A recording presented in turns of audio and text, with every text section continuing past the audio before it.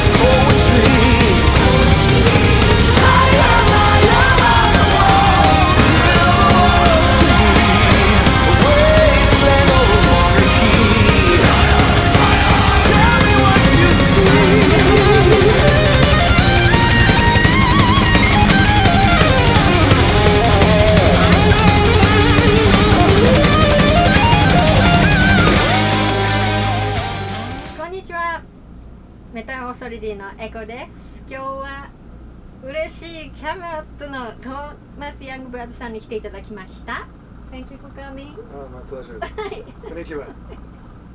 Yes, so では早速質問始めたいと思いますえー、っと Today is your last day of the season North. America Uh, How do you feel? Oh, I feel great. I'm a, I'm a little bit uh, tired from all the traveling to the tour bus stuff, but Sure. it's uh, it's been a great tour. I mean, the DragonForce guys are super fun to tour with. It's like zero drama, which is which is very rare, and the Oh, crowds have been amazing. Um, so it's been it's really been one of our favorite North American tours ever. So it's uh, bittersweet. You know, I'm ready to get get home and, and have some rest, but at the same time, it's uh, it's the last show, so we're gonna have fun tonight. You're gonna do something special because it's the last and this is your town Yeah, I mean, not really. We, we've, we've we've set the, you know, the, the set list to be pretty consistent with all Mhm. the shows. I mean, obviously, Right. it's going to be a little bit more when we talk to the crowd. It's going to be a little bit different stuff, you know. And you know, we're not the traditional bands that do a lot of shenanigans on the last show. It's a little bit, What's the shenanigan? you know, like um, playing pranks on the other bands because we want the crowd, no matter what show they go to, to see a good Yes. the show, you know. Mhm. So sometimes if there's too many, too much shenanigans going on. It's not always the, the, that uh, professional, but in general, I mean, it's it's going to be uh, a great show. tonight. Yes, and um, you know you talk about set list.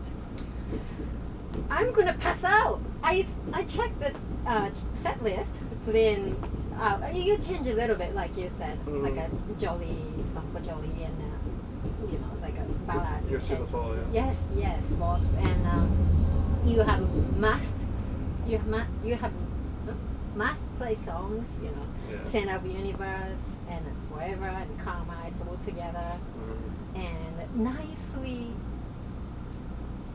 put everything Mhm. like you know 17 songs, I believe. Oh, okay. I didn't know. I didn't. I just look at the amount of time. You know, we try to try to make sure we play at least 90 minutes. you 90 know. minutes. That's great. Um, yes. and we're doing a mix of the older songs, like you said, but also I think we play five songs from Haven, which is something uh, that is cool for us to be able to do, and they go over great live, which is Mm. important. Um, so we're not just resting on on the old songs. We want to make sure that people hear the new songs. Yes. Don't you get so, I mean, aren't you get proud of so much when you see this, you know, songs, great songs from all the albums and it's like a catalog, Yeah, well, fabulous thank, songs. thank you. Um, it makes it difficult to make a set list, you know, because a lot of fans have certain favorites. Sure. But we have to kind of, like I said, first we wanted to focus on Haven, so we have five, at least five songs from Mhm. the new album. Then we think about the older songs, what people want to hear. Also, you know, with Tommy, this being his second record, we want to also have the songs from Silverthorn, so that, that, that Yes. The, representation of the live show is a majority of with the, of his original songs. You know? Yeah. You end with Sacrimony from Silver Yeah. song, right? And Yes. um, I like Revolution. That is like like so fit for a live. You know. Yeah, it's really fun to play, and Mhm. um, you know, occasionally we'll get mosh pits going and stuff, which is Is right? interesting for our uh, for our fan base. but, uh, yeah, I mean it's a, it's a really fun song to play live. Um, it's one we thought about maybe doing a video for. We're not sure yet, but I would ask. That's you have Liar Liar and uh, Insomnia, so third would be Well, we're not sure. Revolution would be great. I think uh, uh, Under Gray Skies would be cool. Um, my therapy, I wouldn't mind. Sorry, that's my favorite. it's your favorite, okay? Yes, cause um, So there you go. It's gonna be my therapy. So yay, cause uh, you know you write a song and um, Tommy write the lyrics and melody, Mhm. vocal melody, right? And uh, that's such an unexpected note. like, Yeah.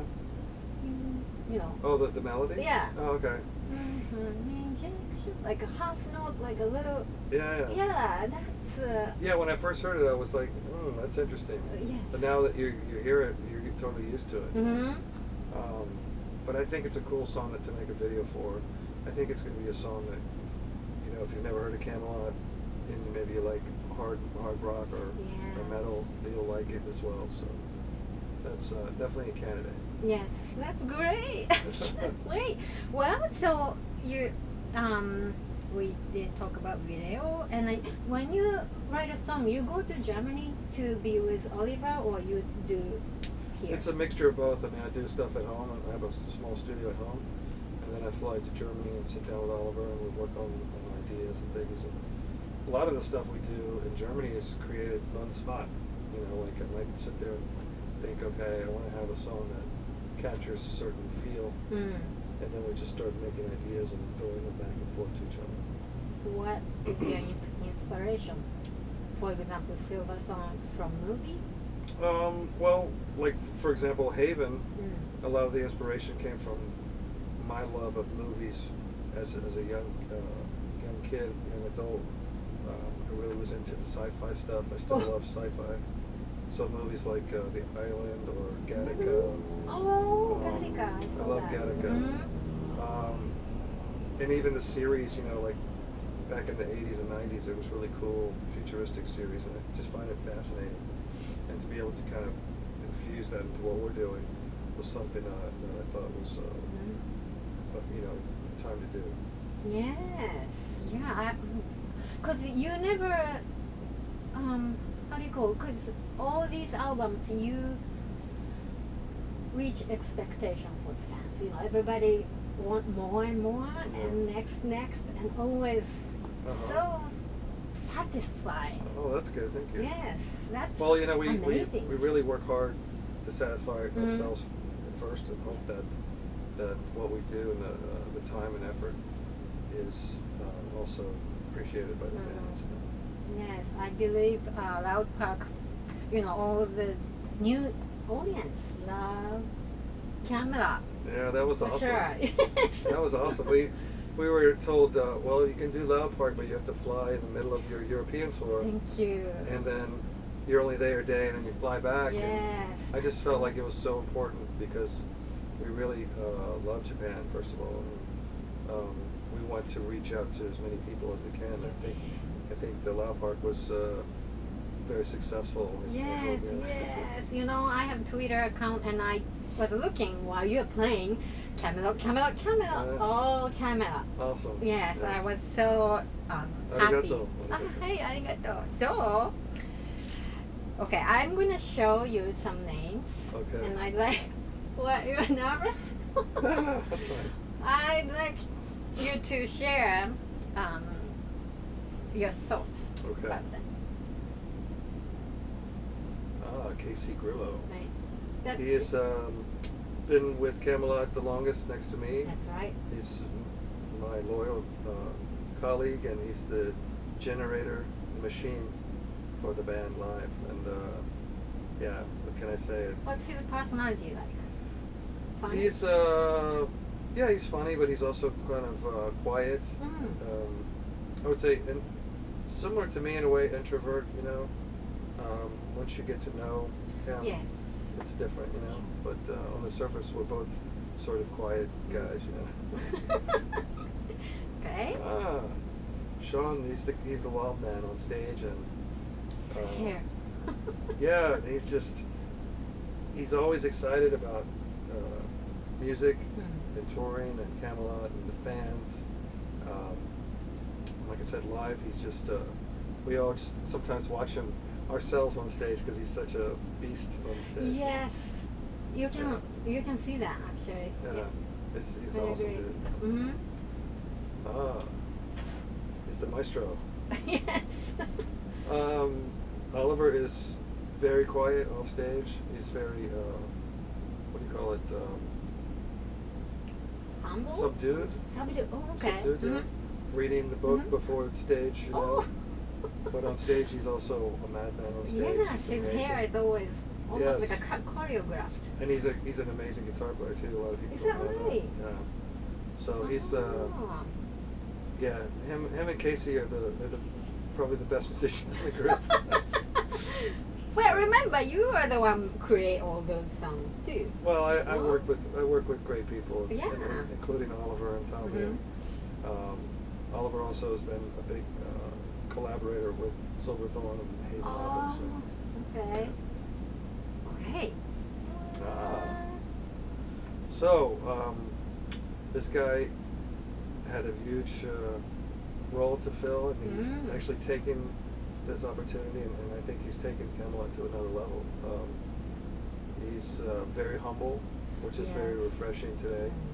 Um, a lot of girls like him. I don't know why, but he's just he's just an awesome guy. I mean, uh, what can I say? I mean, he's probably would be a superhero in some other some other life. Right. Luckily, he's a singer for Kamelot. yes. Um, so uh, I would say also humble and Mm. quiet, but um, I have a very hard work ethic, and I'm also very loyal to people. Um, I think it's maybe also why I connect well with Jap- Japanese people, I agree. and um, yeah, you'd have to ask someone else about me because I don't like to talk about myself. Well, talk, talking about you, because I wanted to know about you more because all the fans sees you, you know, on the stage, Mhm. and we don't get to see you, you know, the different side. Yeah. So I have some questions Okay. for you. Um, tell us about your favorite bands. What three bands do you like? Uh, well, growing up, my favorite bands were Queen, uh, probably Iron Maiden, and Queensryche. Oh, Those were my favorite bands growing up. Yes. If I had to pick three, I mean, I had a lot, but, Sure. but uh, I think that those were the bands that sort of helped forge the initial ideas for Kamelot. Oh, is that right? Yeah, and eventually, you know, we created our own sound, hopefully, but uh, those are definitely the kind of the bands that I was listening to. When you start um, your own career, you wanted to make this symphonic metal. Um, well, something, a mixture of, you know, what I was listening to at the time was like Maiden and Queensryche, those kind of Mhm. bands. But eventually I started getting into like new age music, Mm. classical stuff on, on my personal, Mhm. uh, and so I started to bring that those elements into Kamelot, especially the new age stuff, like starting with Karma, uh, albums like that. I started really getting into Celtic and Persian, Mhm, That's right. Yeah. Persian music, you know, Arabian stuff. Oh, Arabian. Yes, you have one song like that. Yeah. Okay. And um, stuff you can't live without. Stuff or Mhm. Stuff, not oh, stuff. Um, your favorite drink, your favorite food, Yeah. or Okay. Uh, I love pasta. I love spaghetti, that kind of food. But Mhm. uh, drinks, probably uh, a good beer now and then. It's nice to have. Uh, it's time for yeah. you to, tonight. yes, exactly. but pretty much stuff is stuff. You know, anything that can be purchased, you Mhm. don't you don't really need. You know, the important things are family and, and friends and, and fans, of course. Absolutely. See, uh, I like doing interview. Uh, one of the reasons is I get to feel real artist Mhm. like mindset, Yeah. not only on stage, Yeah. and I get to share with the fan. That's awesome. That's cool. Right. Yes. And okay, tell us something nobody knows about you. Oh. Can, Well- you, can you keep a secret? yes. You know, actually, I did an interview with Tommy, and then he showed his magic trick, Oh, right. vanish the card. Oh, that one? yes. Oh, yeah. pretty good, huh? Yes. Uh, actually, both him and I have a kind of a, a passion for for uh, illusions. Yeah, we both do, and um, I've, I've also passed it on to my kids. This. Uh, oh yeah. So I teach them the tricks where they. Can you do the something coin. right now? Uh, let's see if I have a. yes. Okay, so Like let's see if this works.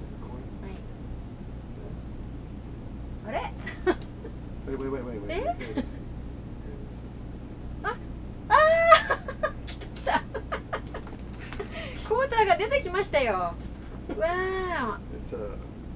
Go to Las Vegas do the yeah. show No. awesome well what I think we have to do the uh, meet and greet soon. So. yes okay so it's time for you to do your own things but thank Yeah. you for coming and I'd like to ask you to tell the fan some message Yeah, I want to thank you And guys. Huh? and plan for Japan tour as well Yeah, right now we are actually working. Um, we're talking to some different agents in Japan. After the park, we really want to come back and do our headliner show, which um, is one of the highlights of every album tour that we do. We want to come to Japan. I personally love Japan. I could probably live there, but um, so right now we're working on that for you guys. Um, hopefully within the next three to four weeks we'll have something to announce. And then, um, yeah, I want to thank all you guys for your support. Um, definitely go out, get Haven. The record company loves it when uh, they have sales, and that helps us come on tour. And I want to thank you guys, and hopefully we'll see you next year in Japan on the tour.